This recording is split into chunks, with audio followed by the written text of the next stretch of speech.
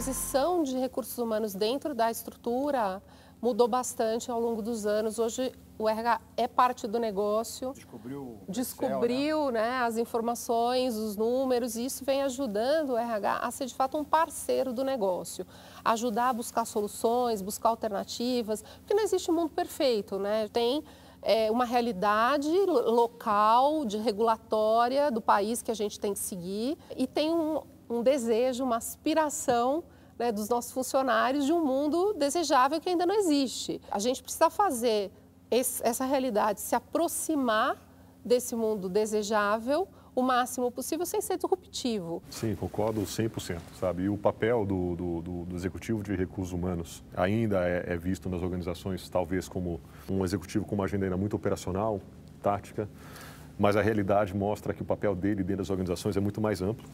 É difícil você ter gente hoje disponível no mercado e mais difícil ainda você ter gente capacitada. O gestor de pessoas ele tem que ter a sensibilidade de entender a estratégia organizacional e já hoje entender quais são as intervenções que ele, como, como, como executivo, vai precisar. Cada vez mais o que o RH ou, ou as empresas vão precisar fazer é gerenciar propósito então você pega, por exemplo, as Olimpíadas que aconteceram agora no Brasil. Se não me engano, foi na, na ordem de centenas de voluntários, 70 ninguém, 70 mil, ninguém estava sendo pago, todos engajados, todos muito motivados.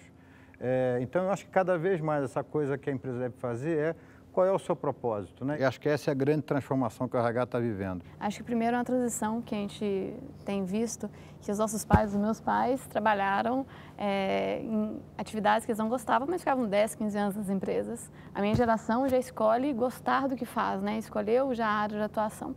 É que cada vez mais os meus valores é, pessoais têm que estar muito alinhados com meus valores profissionais. Isso. Então, por isso que não faz sentido trabalhar em uma empresa que vai contra algo que eu acredito.